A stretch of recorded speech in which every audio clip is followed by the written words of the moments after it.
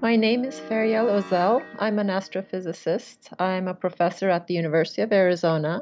We see a lot of differences in the behaviors of black holes.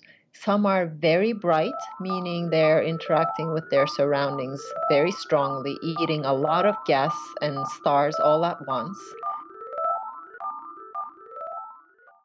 Others are quieter, um, and even among the quieter ones, for example, Sagittarius A star, our own black hole, versus the black hole at the center of galaxy M87, we see tremendous differences. Ours is kind of calm and it doesn't have any jets that we can see, these structures that are jutting out of the black hole uh, accretion disk. Whereas M87's um, jets are tremendous. We can see it in pretty much every wavelength of light that we look at, and they're the size of the galaxy. Now, looking at it naively, Sagittarius A star and M87 are pretty close cousins. They are both quiescent, they're both in um, nearby galaxies. So, what is the difference between them? What is it that affects their behavior? And by looking at the images at extremely high resolution and looking at the black hole all the way down to this drain, getting close to its event horizon where matter disappears, we're hoping to get some answers to these unsolved questions.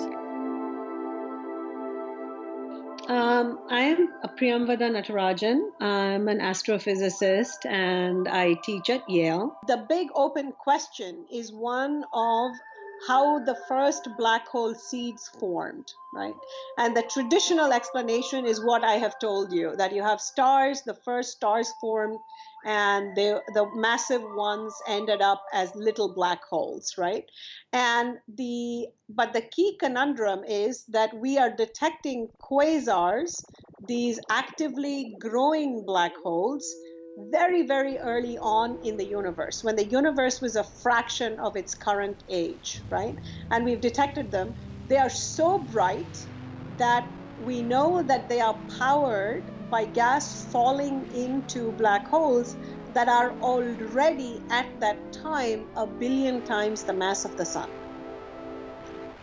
And there's a timing problem, there's a timing crunch uh, there's very little time when the first stars form and the black holes that they leave those are maybe 10 times the mass of the sun.